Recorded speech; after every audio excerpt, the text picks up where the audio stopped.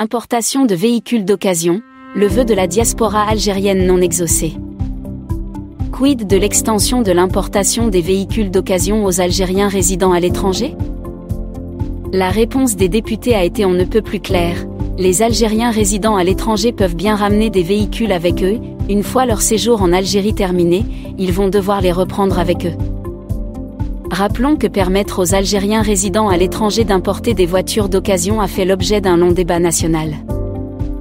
Mené par le député de l'immigration Abdelouahab Yagoubi, du mouvement de la Société pour la paix, le débat en question a même fait appel à des arguments assez forts toute mesure discriminatoire à l'encontre d'un groupe de citoyens sur la base de la résidence doit être supprimée conformément à la Constitution, qui garantit l'égalité entre les citoyens en droit et en devoir, sans exclure la communauté sur la base de la résidence, a entre autres défendu Abdelouahab Yagoubi.